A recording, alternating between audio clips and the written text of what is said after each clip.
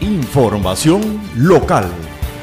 En materia local tenemos que autoridades localizan un cuerpo sin vida en playas de Sabaneta. A eso de la una de la tarde, autoridades asisten al llamado de personas que informan de un cuerpo sin vida que apareció flotando en playas del sector ya mencionado.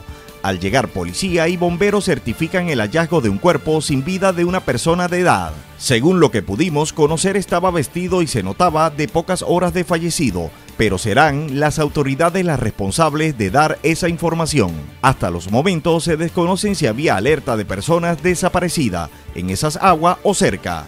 Autoridades comienzan con la investigación. Para noticia, impacto.